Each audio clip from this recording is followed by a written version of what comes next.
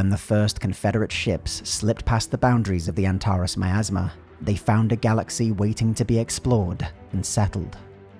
But not all stars were open to them. An invisible boundary separated the Confederacy from a region of space that no ship from any nation would ever be permitted to enter. What the Banthurian civilization might once have been has long been debated, for when they were first encountered in 274, they clung to the husks of vast space stations, the glories of their lost empire rotting all around them. On countless such stations, billions of their kind lived in cramped squalor and warred against one another, led by petty tyrants. Despite their apparent barbarism, the Banthurians possessed great hosts of ships, decrepit and ancient, yet showing signs of advanced technology. They were a powerful force, but one focused inward. Their borders were closed, and the Confederacy did its best to not interfere in their affairs. But just over a century after they were first encountered, reports from their frontiers told of an unprecedented mobilization of ships and armies. For their first time in recorded history, gangs and factions who just months earlier had slaughtered one another now moved towards some unknown goal in unison. Confederate reconnaissance satellites and outposts directed every effort towards understanding this mustering, but the wild space of the Banthurians had always beguiled such efforts. In 377, the CAS Dronafeg, the only vessel to ever cross beyond their boundaries, was deployed to investigate, only to be destroyed with all hands, still well outside Banthurian space. Before the Confederacy could issue a protest, the reason for its destruction and the Banthurians' mobilization became clear. His title was beyond translation, a mixture of honorifics and laurels that would have suited an ancient warlord of old Earth. To Antares, he was known simply as the Great Khan. Already wrapped in mystery and legend, his heralds proclaimed that through guile, charisma, military genius, and supernatural power, he had won the devotion and loyalty of the entire Banthurian race. Confederate intelligence struggled to separate the facts of his life from fiction, but one point was undeniable. The Banthurian Khanate was on the move. When the Herald of the Great Khan appeared before the Parliament of Antares, he offered a simple choice capitulate or be destroyed. Military planners within Antares had long since feared the unification of the Banthurians, and the border was far from undefended. Naval Station Koloa was the largest and most formidable of its kind ever built by the Confederacy. It bristled with heavy guns, hangars, and other weapon emplacements, and was itself surrounded by a further network of other, smaller outposts. With the proclamation of the Great Khan, the 1st and 4th Confederate fleets were sent to assist Koloa, creating the largest concentration of military power in the history of Antares. The First Battle of Koloa was a Pyrrhic victory.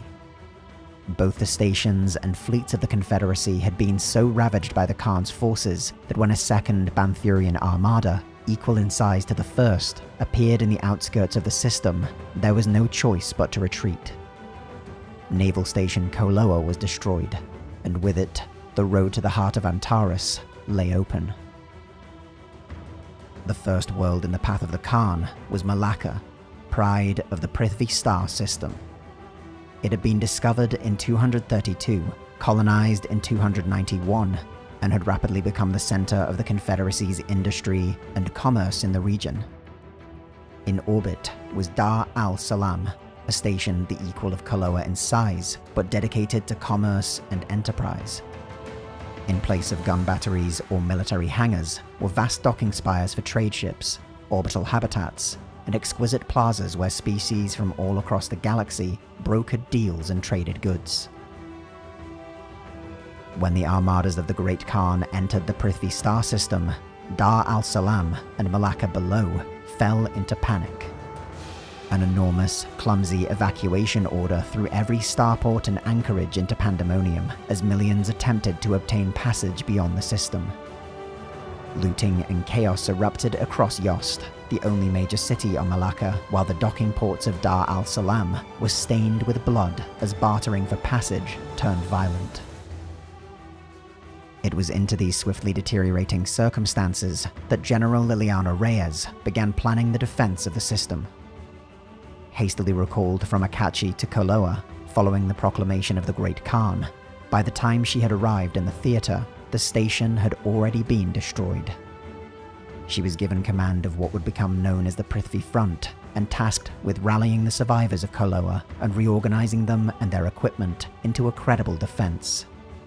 Outdated defense plans were modernized and streamlined. When the Banthurian armada that had destroyed Koloa entered Melaka's orbit, the remnants of the 1st and 4th Confederate fleets had long since departed the system. Even without them, however, Dar al Salam and Melaka had been heavily fortified. The Banthurians had grown so accustomed to fighting each other that the tactics employed by the Confederacy took them by surprise.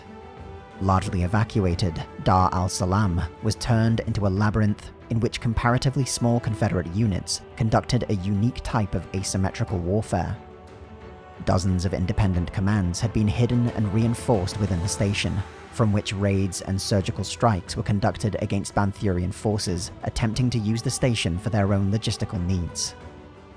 Entire sections were detonated by Antares soldiers once their positions were lost, taking with them tens of thousands of Banthurians in a last act of defiance. While the battle for Dar al-Salam raged above, fighting erupted on Melaka itself, the majority of this was focused on the capital city of Yost, a prize that the Banthurians were eager to claim for their Khan. Utilizing a vast array of atmospheric transports and orbital drop pods, the equivalent of five Confederate army groups were landed on the outskirts of Yost, surrounding the city and pressing inwards from every side. A sustained orbital bombardment created a firestorm, killing tens of thousands of civilians and turning the city into a vast landscape of rubble and burning ruins. A raid against the Banthurian forces, the Confederate garrison was outnumbered nearly 15 to 1, and before contact was lost with the system, the Antares General Staff estimated the city, and then the planet, would fall in no more than two weeks. To negate the advantages of the Banthurian armada in orbit, General Reyes and her subordinate commanders adopted a tactic of keeping their front lines positions as close to the enemy as possible. Reyes herself described this as hugging the Banthurians, and its use slowed their advance by reducing the effectiveness of their supporting fire from both orbit and on the ground. The carnage of the urban fighting on Yost was like nothing else in Confederate history, eclipsing by far even the largest battles against the Anthorians, or Beldros. Landmarks that had once been the pride of the city were turned into fortresses. Luban Tower, a multi-kilometer high skyscraper, would become almost legendary in its defiance of the Banthurians, in which a single understrength brigade repelled dozens of attempts to storm the building before it was finally destroyed by an orbital strike. This same story repeated itself dozens, if not hundreds of times across the city, as the hordes of the Khan were forced to fight city block by city block, building by building, street by street, and brick by brick. Confederate defenders created a network of tunnels running through ruined buildings and into sewers. Multiple times, Banthurian support elements advanced across what they considered to be dead ground, only for the dead ground to spring back to life and envelop them. Such was the ferocity of her defense, and the disproportionate losses her forces inflicted on the Banthurians, that killing General Reyes became a notable priority for the Khanate. Intercepted transmissions between Banthurian commanders included mention of her as a terrible butcher, and when word of these transmissions circulated across the defenders, the name stuck and provided a welcome boost to morale. General Reyes had hoped to delay the Banthurian conquest of Melaka long enough for a Confederate counterattack. But when multiple Khanate fleets, each equal in size to their armada in orbit, were spotted across the sector front, it was obvious that the fate of their world was sealed. One by one, the fortresses of Yost were stormed or destroyed from orbit.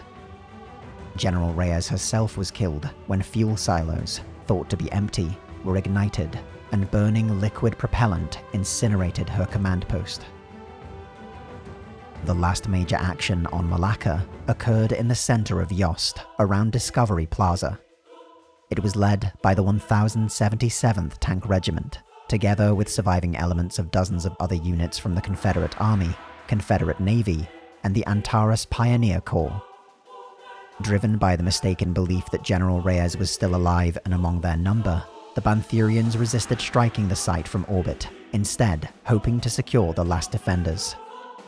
They were killed to a soldier after 30 hours of ferocious resistance, bringing the Battle of Melaka to a close after six months. In the wake of the victory, the Great Khan himself arrived upon Melaka. Together with his highest council, he toured the battlefield of Yost and spoke not only with his own troops, but with Confederate soldiers and citizens that had been captured. The alien, martial culture of the Banthurians demanded that a full account of the battle be made, and the heroics and honours of all involved be properly accounted for. In a strange type of religious ceremony held in the remains of Discovery Plaza, the Khan personally decorated the 99 highest surviving officers among the Confederate defenders. In a speech broadcast to the Confederacy directly, he declared that 248 ships among his vast armadas would be named in honor of the defenders of Melaka. A battleship bearing the name of Liliana Reyes of Antares would be among them. This episode of High Command was based on a battle that occurred during Stellaris Invicta.